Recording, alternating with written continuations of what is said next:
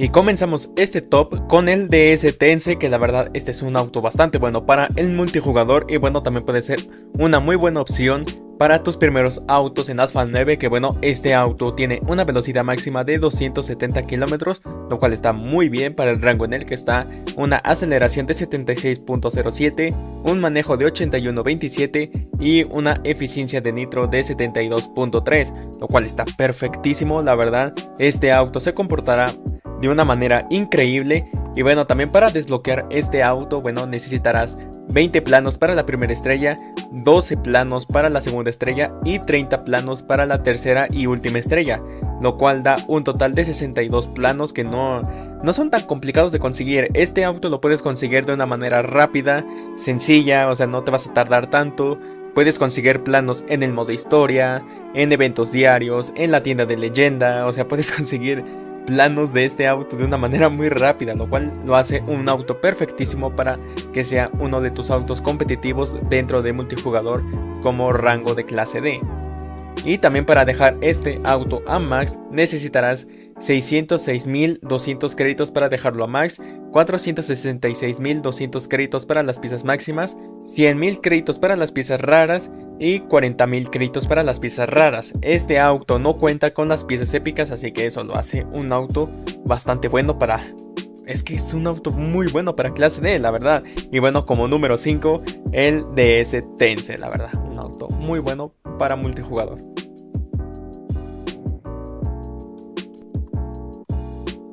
Y como el número 4 tenemos a este BMW i8 Roadster, lo cual es una muy buena opción también para empezar en multijugador competitivo.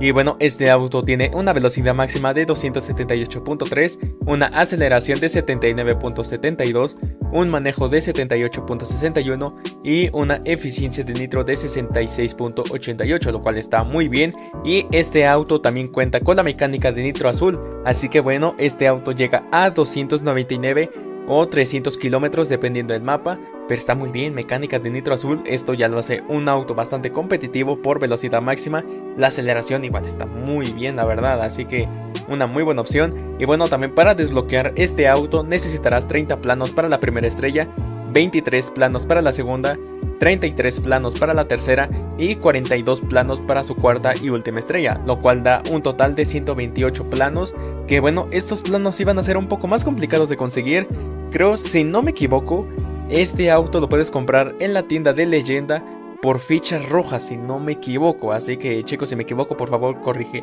corregirme aquí abajo en la caja de comentarios. Pero es, según yo, es de esa manera. Lo consigues por las fichas rojas. Y también este auto para dejarlo a max necesitarás 3.878.680 créditos para dejarlo a max. 2.518.680 créditos para las piezas máximas 560.000 créditos para las piezas comunes, 320.000 créditos para las piezas raras y 480.000 créditos para las piezas épicas. Así que cuidado chicos, este auto sí es bastante caro para si vas empezando, así sí es bastante carito si vas empezando, pero es una muy buena opción por velocidad máxima, por aceleración, por eficiencia de nitro también. Este auto también no es tan complicado de manejar, la verdad, para hacer tus primeros autos para multijugador está muy bien, pero la manera de conseguirlo, la verdad sí va a ser un poco tardada, pero es una muy buena opción, la verdad.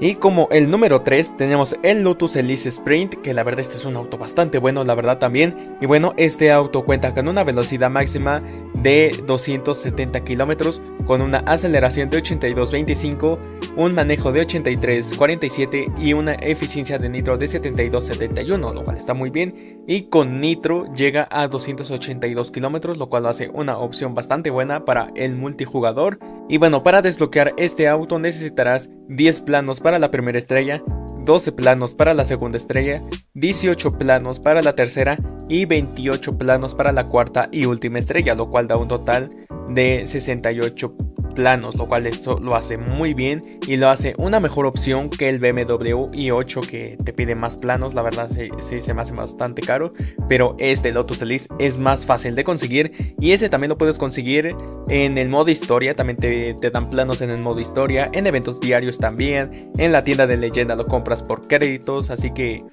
esta opción es, es, muy buena, la verdad. Puede ser uno de tus primeros autos de planos raros y es una muy buena opción para el multijugador, la verdad. Y para dejar este auto a max necesitarás 1.939.960 créditos para dejarlo a max. 1.259.960 créditos para las piezas máximas. 280.000 créditos para las piezas comunes. 160.000 para las piezas raras. Y 240.000 créditos para las piezas épicas. Así que Casi 2 millones en este auto de créditos no se me hace tan caro la verdad para este auto y es una muy buena opción. Uno de tus primeros autos de planos raros, la verdad puede ser uno de tus primeros. Y una opción muy buena para el multijugador, la verdad se comporta de maravilla. Y este auto también lo spamean muchísimo en multijugador, la verdad. Así que bueno, para clase D, Lotus Elise Sprint número 3.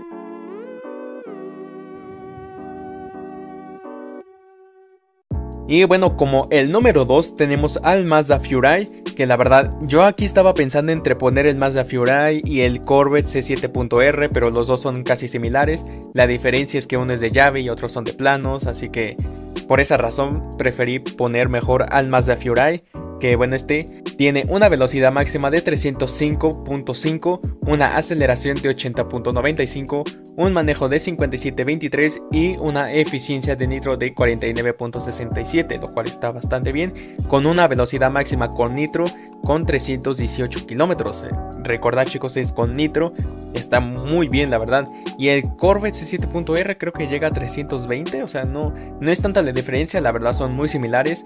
Pero bueno, este auto para desbloquearlo para primera estrella necesitarás 30 planos, para segunda estrella necesitarás 23, para la tercera necesitarás 33 y para la cuarta y última estrella necesitarás 42 planos, lo cual da un total de 128 planos que estos planos los puedes conseguir en la tienda de leyenda por fichas rojas si no me equivoco. Y si no mal recuerdo también puedes conseguirlo por sobres si no me equivoco, también ahí, chicos, corregirme si es que me estoy equivocando en esa parte de los sobres. Pero lo más seguro es que lo compres por fichas rojas en la tienda de leyenda. Que les digo, chicos, es. Es que es una muy buena opción para clase D, la verdad, por velocidad máxima, por aceleración, lo hace una muy buena opción para el multijugador de clase D. Y bueno, para dejar este auto a max, necesitarás 3.878.680 créditos para dejarlo a max. 2.518.680 créditos para las piezas máximas, 560.000 créditos para las piezas comunes, 320.000 créditos para las piezas raras y 480.000 créditos para las piezas épicas. Así que cuidado chicos, son 3 millones, casi 4 millones, pero realmente vale la pena este auto, la verdad. Solamente con que tú compitas unas 2, 3 carreras con este Mazda Furai, ya sube rápido a Liga de Plata. O sea, es, es bastante sencillo ganar con este auto, la verdad. Siempre y cuando sepas manejarlo, porque el manejo sí es un poco complicado, pero no es tan pesado, la verdad. Así que es, es practicarle un poquito con este auto, la verdad, pero es una muy buena opción como clase D. Así que bueno, número 2, Mazda Furai.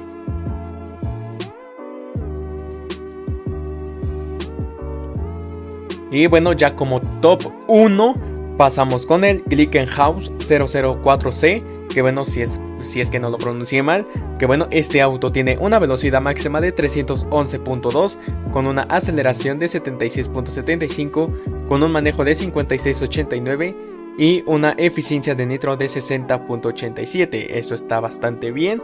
Y bueno, también para desbloquearlo, este auto también requiere de una llave, pero por esa razón ahorita está en el top 1 porque Actualmente, en el momento que estoy grabando este video, está activo su Grand Prix, así que por esa razón está aquí. Y bueno, primera estrella, necesitarás esa llave.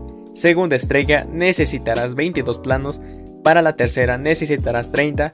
Para la cuarta, necesitarás 35. Y para la quinta y última estrella, necesitarás 38 planos, lo cual da un total de 125 planos. Sí, son bastantes, Pero les digo por la razón que su Grand Prix está activo, por esa razón está aquí. Así que esa es la única manera de conseguir este auto por su Grand Prix. No ha habido una casa de llave, no ha habido un evento desatado o algo así. No. La única manera de conseguir este auto es por este Grand Prix que está actualmente activo cuando estoy grabando este video. Así que por esa razón está en top 1. Y bueno, este auto para dejarlo a max necesitarás 8.727.360 créditos para dejarlo a max. 5.247.360 créditos para las piezas máximas. 1.080.000 créditos para las piezas comunes.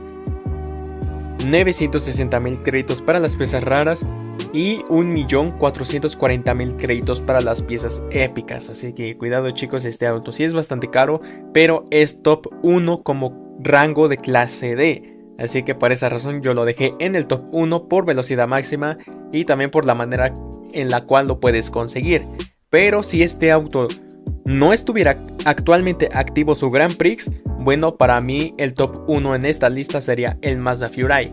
Pero como está su Grand Prix de este auto actualmente activo, por esa razón a este auto lo puse como top 1. Y bueno, el House se lleva el top 1 en esta lista de autos de serie multijugador clásica para Asphalt 9 dentro de clase D. Así que bueno chicos, hasta aquí la podríamos dejar en el día de hoy. Espero que les haya gustado el video. Si ustedes tienen un orden diferente en cuestión de este top o bueno tienen opciones diferentes de auto, bueno la pueden dejar aquí abajo en la caja de comentarios.